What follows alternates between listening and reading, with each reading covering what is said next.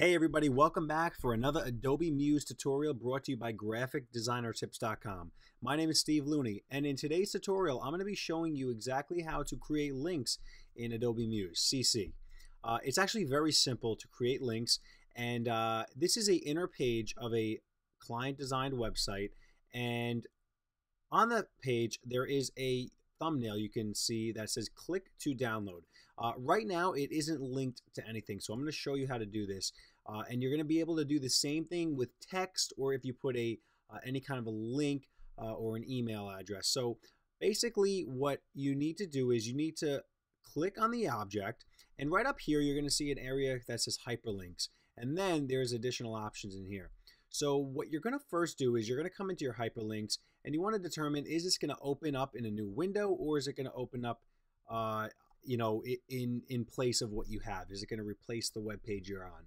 Um, I like to a lot of times uh, especially if I'm being uh, redirected away from a website I like to have this link open up in a new window.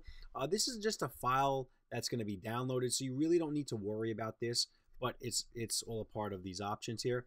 Um, in talking about text links, all right, there's the default link style we all know of. And if we go into edit link styles, it's basically this. We have the normal, it's always blue, hover, the same blue, visited is always purple, and active means red is red.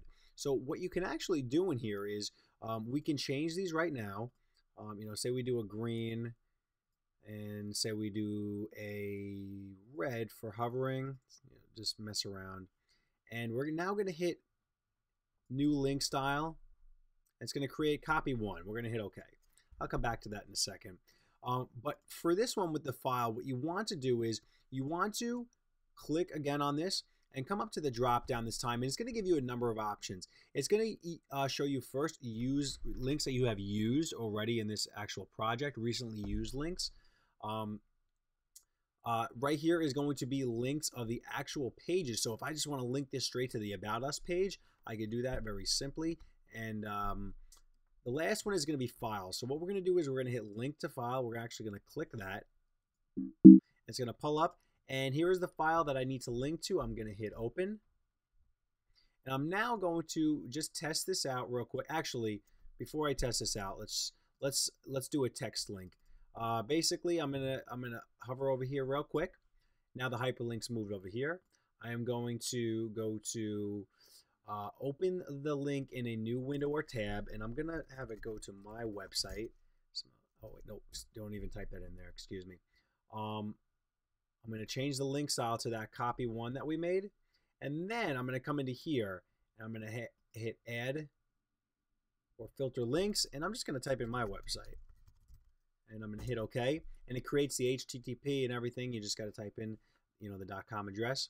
And the next thing I'm going to do is I'm going to come up to File and Preview Page in Browser and see what happens. Okay, so now we have this page in an actual browser. Um, and if I click this, it's going. You're going to see it actually just started to download.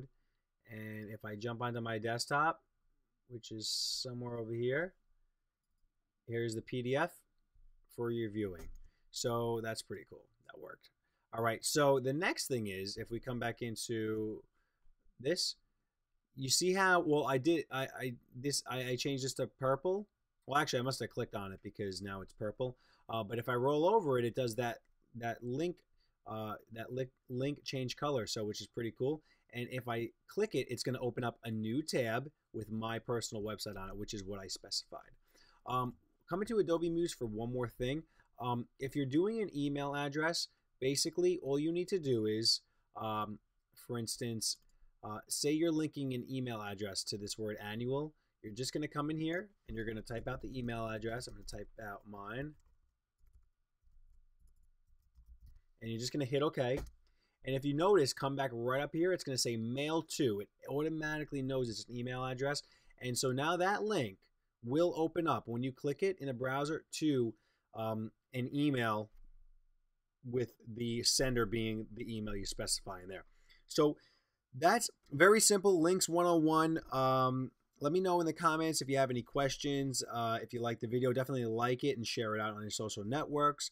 Uh, also, hit the subscribe button to subscribe with uh, these videos every time they come out so you'll get them before anybody else does. And I will see you for the next video uh, in the Adobe Muse series shortly. Have a great night, everybody. Peace.